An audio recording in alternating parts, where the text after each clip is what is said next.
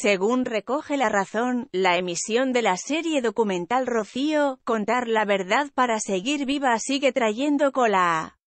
Una de las colaboradoras que más defiende a la heredera universal de la jurado desde un primer momento es Belén Rodríguez, íntima amiga suya, y su vehemencia a la hora de apoyarla y condenar cualquier gesto o palabra que venga de parte del otro bando podría haberle salido demasiado cara, tanto es así que ha tomado una decisión al respecto.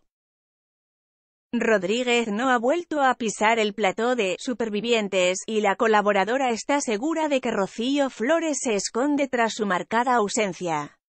Este podría ser uno de los motivos por los que la defensora acérrima de Rocío Carrasco está empleando una estrategia de lo más cuestionada en redes sociales cuyo fin es echar a Olga Moreno este jueves de Supervivientes. Rodríguez le sugiere a sus seguidores lo que deben hacer a la hora de votar para que la expulsada sea Olga tal y como se aprecia en la imagen que mostramos a continuación. Tweet de Belén Rodríguez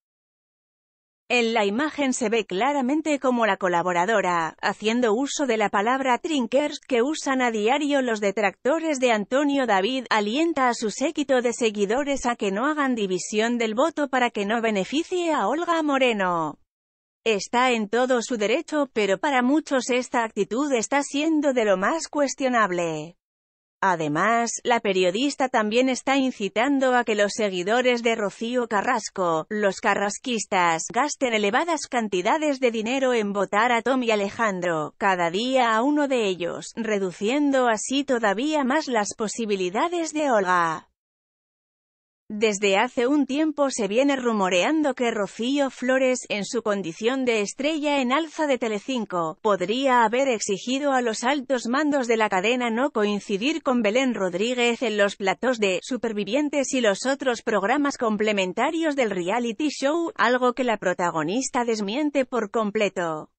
Rodríguez no tiene duda de que la joven ha pedido su cabeza y la acusa directamente de jugar con su puesto de trabajo. Desde que Rocío Flores pidió mi despido, no he vuelto a Supervivientes, lamentó Belén Rodríguez en Viernes de Luxe.